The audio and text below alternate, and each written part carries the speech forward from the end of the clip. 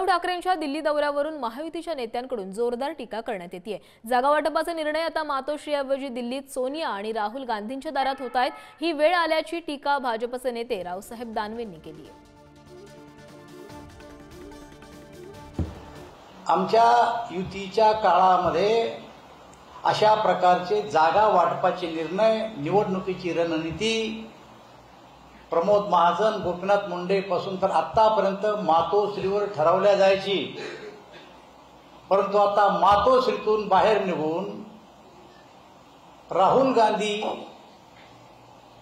आणि खरगेजीच्या दारात जाऊन उभं राहण्याची ही पाळी या राज्यातल्या जनतेने तुम्हाला खरंतर आणलेली आहे.